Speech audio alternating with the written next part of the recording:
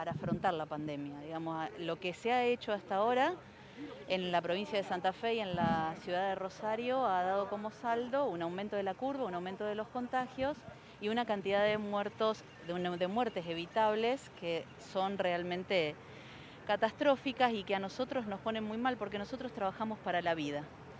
Y esto es muy importante porque la Asamblea desde el primer día, eh, desde el primer día todos acordamos que trabajamos por el derecho a la vida y por el derecho a la salud.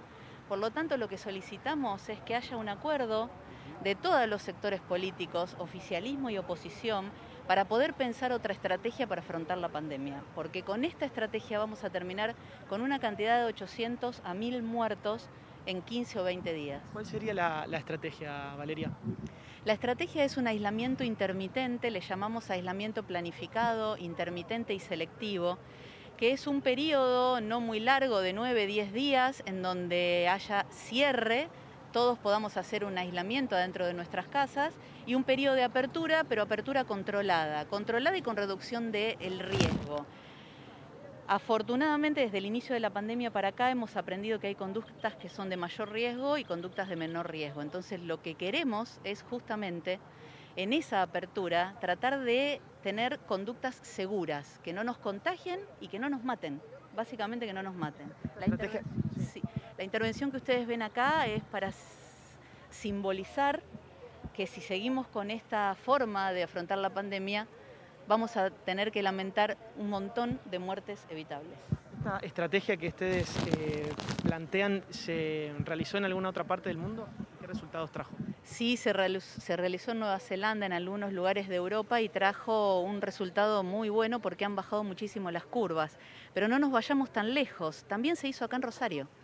En julio, de mediados de junio, eh, inicios de julio, Hubo una buena estrategia de aislamiento acá en Rosario que permitió al sistema de salud cuidar a los más vulnerables, hacer rastreo y hacer aislamiento. Y eso dio unos resultados excelentes acá, en Rosario, no en Europa.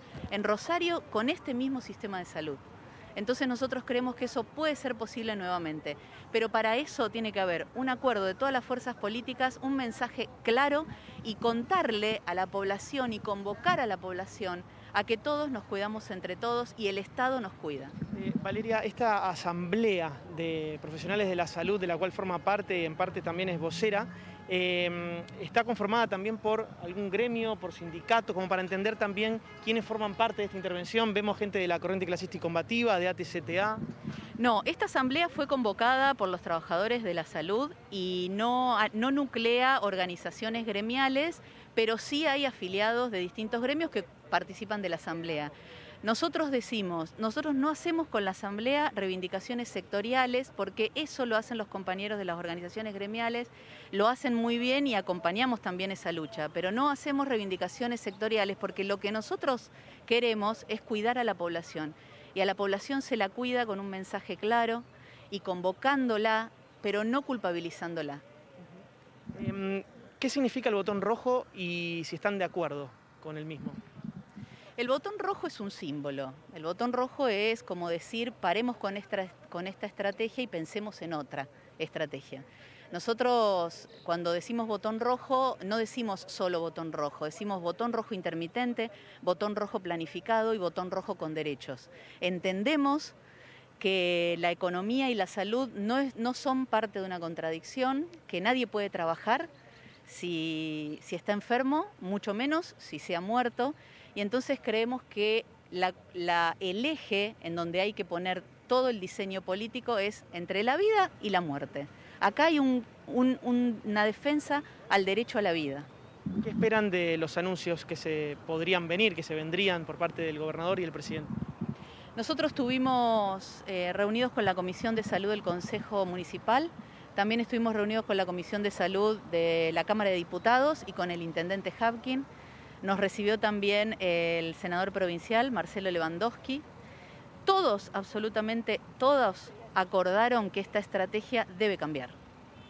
Entonces, eh, creemos que hay acuerdo de las fuerzas políticas, creemos que eso se puede lograr y creemos también que la población va a ser convocada y va a a plasmarse en, un cuidado colectivo.